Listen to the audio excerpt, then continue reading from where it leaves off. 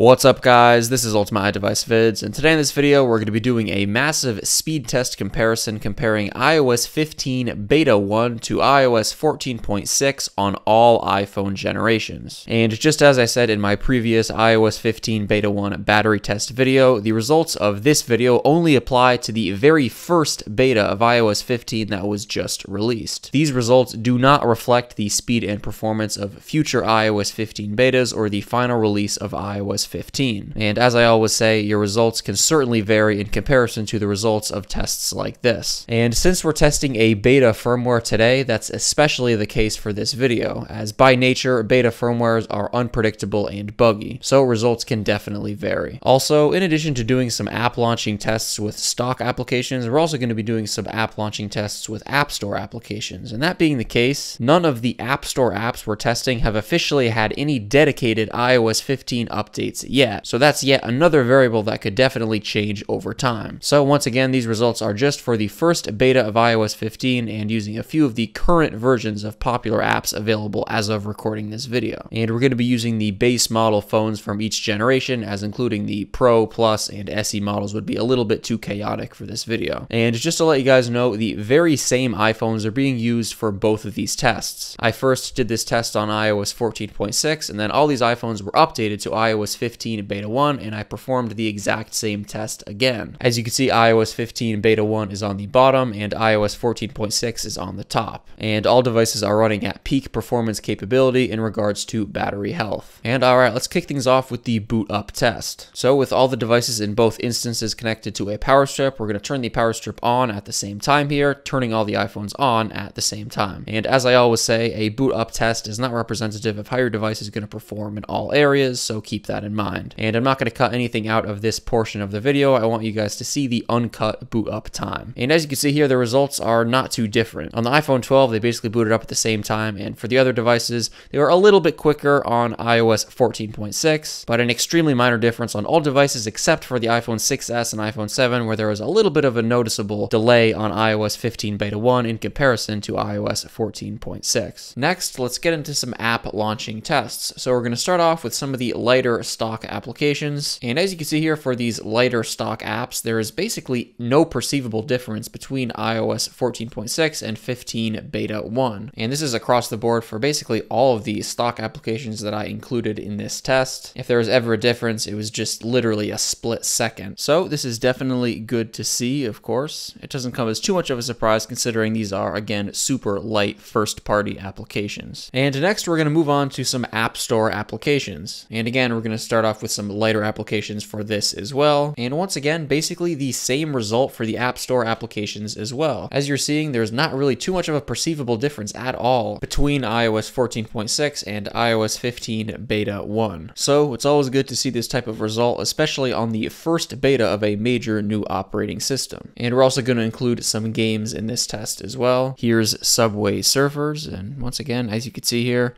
uh, very comparable load times across the board between iOS 14.6 and 15 beta 1. As you're seeing there, if there's ever a difference, it's just literally a split second or so. And we'll head on over to Temple Run next, a fairly light game. And for some reason, the iPhone 11 on 14.6 was unable to launch Minecraft the first time. It just had a white screen. This has never happened to me before, probably just a random one-off glitch, so I wouldn't read anything into that. But anyways, as we get into some of the heavier heavier stuff like Asphalt 9 here. Again, there's still just a very little difference between these two firmwares. But with Asphalt 9, iOS 14 does have maybe a couple seconds of a lead on pretty much all these devices here. In this specific case, again, that could have just been completely random based on how similar they've been throughout the you know rest of this test. And moving on to PUBG, they basically perform more or less the same in regards to opening up this application. So looking pretty good for app launching times, just you know head to head one at a time time. So not a whole lot to report there. But, you know, as I said in my last battery test video, when you're talking about the first beta of a new iOS version, no news is definitely good news in regards to speed and performance. And let's move on to a consecutive app launching test. So we're going to show each device on both iOS versions launching a set of applications consecutively, one after the next, and we're going to show them side by side to show any speed difference between the iOS versions. So let's start off with some stock applications. And with no applications running in the background on all these devices for both iOS versions, let's go ahead and get started. So as you're seeing here, both iOS versions are performing quite well, both getting into and out of these applications pretty quickly on pretty much all devices. It basically felt very smooth, you know, navigating all these applications on all devices except for occasionally on the iPhone 6s and iPhone 7 on iOS 15 beta 1. I did notice a little bit of stutter occasionally, but again, it really is not that big of a deal. And it was only in some instances where I noticed that. And, you know, as you're seeing in this test,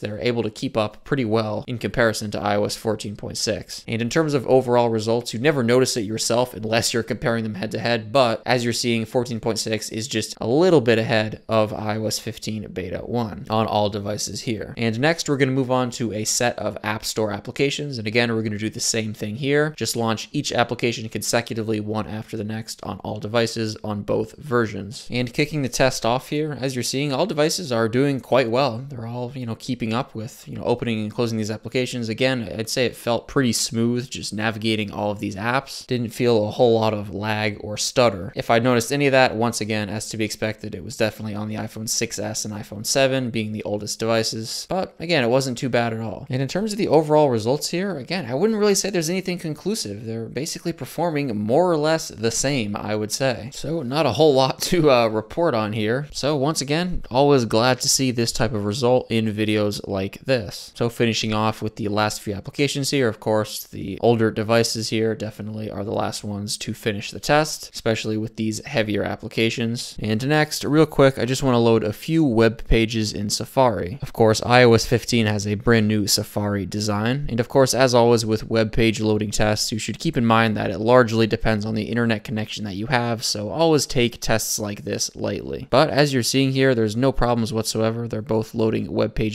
super quick, and it'll just load a few more here. And again, same result. Very little difference between the two iOS versions on all devices. But all right, so next up, let's go ahead and move on to some benchmark tests. So let's start off with Geekbench. So we're going to head on over to the Geekbench application on all of these devices, both iOS versions, and we're just going to run a CPU benchmark and see how the numbers are. And as you're seeing here, iOS 15 beta 1 scored very similarly to iOS 14.6 with Geekbench, so no complaints there. Next up, we're going to move on to Antutu. So we're going to run an Antutu benchmark on all devices. And as you can see, in terms of the Antutu results, very negligible difference between these versions yet again. So there you guys have it. As you can see in this test, there is pretty much a very minor difference between these two iOS versions in what we tested today. Of course, speed and performance all depend on the tasks you're doing on your device. And once again, iOS 15 beta 1 being a beta version of iOS, things are definitely prone to be unreliable and buggy. So your mileage can certainly vary. So if you guys are using either of these iOS versions, let me know down below in the comments section how the speed and performance has been for you. Thank you guys so much for watching this video and I'll catch you in the next one. Peace out.